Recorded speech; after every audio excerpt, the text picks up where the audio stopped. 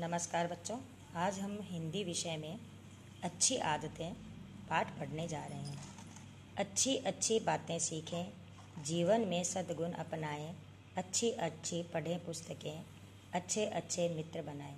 हमें जीवन में अच्छी बातें सीखनी चाहिए और अपने जीवन में सदा अच्छे गुण अपनाने चाहिए। अच्छी अच्छी पुस्तकें पढ़नी चाहिए और अच्छे मित्रों के साथ रहना चाहिए।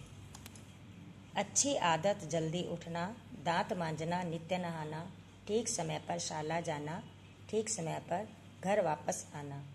इसमें बताया गया है, हमें, हमारी अच्छी आदत होती है कि हमें सुबह जल्दी उठना चाहिए, दांत साफ़ करने चाहिए और नित्य नहाना चाहिए। ठीक समय पर विद्यालय जाना चाहिए और ठीक समय पर विद्यालय से वापस घर आ जाना चाहिए। अच्छी आदत सत्य बोलना और बड़ों का करना आदर दया भाव रखना जीवों पर, विद्या विद्या पढ़ना ध्यान लगाकर। हमें सदा सत्य बोलना चाहिए और बड़ों का आदर करना चाहिए। प्रत्येक जीवों पर दया रखनी चाहिए और अपनी पढ़ाई मन लगाकर करनी चाहिए।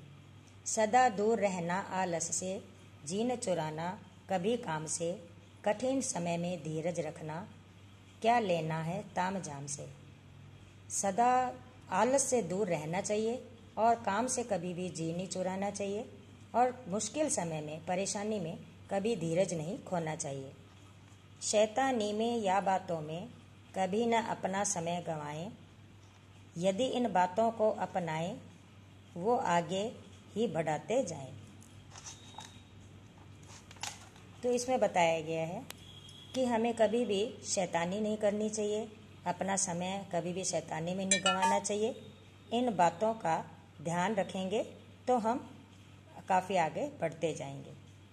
धन्यवाद।